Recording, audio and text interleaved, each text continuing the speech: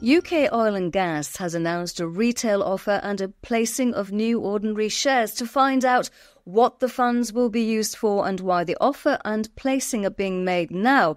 I'm delighted to be joined by the Chief Executive, Stephen Sanderson. So, Stephen, why the fundraise and why now? Yes, uh, thank you for uh, uh, having this opportunity, Sarah. Um, why? I think I think one word probably sums it up. It's called hydrogen. Um, I think people have uh, likely seen our last three kind of major RNS about uh, the letters of support for, from some pretty big uh, UK energy and hydrogen space hitters, RWE, um, SGN, and Sumitomo. And they're all uh, they've all given us support for what's called our uh, application for government revenue support and uh, the past government and this previous or and the existing the new Labour government, I should say, are uh, very supportive of uh, hydrogen, very supportive because it can help uh, decarbonise the UK.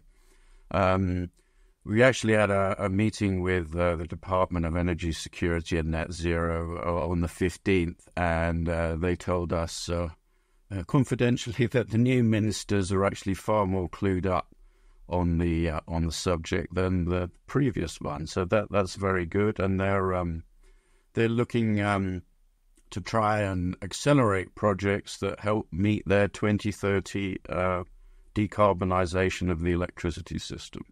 So uh, why the raise? Um, well, because you know we want to put we want to put in a competitive uh, bid for uh, allocation support, and I should say that the allocation support essentially will provide the, the capital funding and also cover the um, operate, fixed operating costs of the project. So, uh, and that will likely be over 15 years.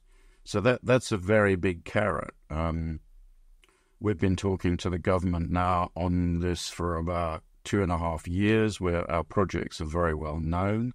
Um, we're also uh, in conversations, advanced conversations with some fairly heavy hitters about coming in as joint venture partners.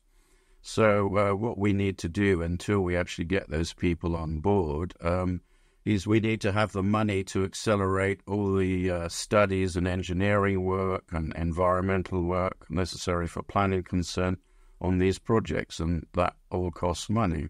So, um, in short, that's why we need it. Really, you know, all these funds will go towards uh, pushing forward our application for you know the hydrogen storage revenue support, and uh, you know if we get that, then that really um, you know will will put us in a in a in a front row position in the hydrogen storage space. Well, obviously, those heavy hitters have to remain anonymous. There's a huge element of confidentiality, but you use the word supportive. So, do you think that um, retail investors will be just as supportive? I'm just wondering why the retail offer.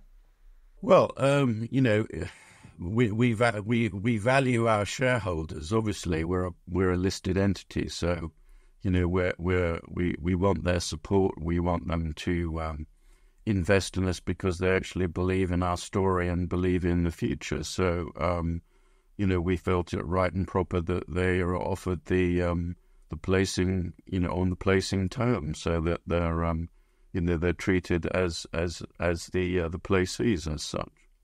And therefore, Stephen, what is the future of the company? Are the funds enough to achieve your strategic objectives and help the government with its superpower ambition in the short or medium term? Well, you know, the fu- the funds will be, uh, you know, adequate for us to, uh, you know, further our um, application for the revenue support. Um, it clearly will get us to that point, um, particularly if we, you know, we bring on board, um, you know, a, a, joint venture partner, and, and what we're looking for there is someone who will effectively pay the majority of the costs of uh, of what it will take to get the project to what's called a final investment decision in uh, 2026 27 which means then once you've made that then you um, you've raised the money and you can put into place this billion pound project. So um, that's that's what we're doing it for. But you know each journey begins with but a single step. So Many thanks, and a lovely way to end our conversation. Stephen Sanderson, Chief Executive of UK Oil and Gas, thank you very much indeed.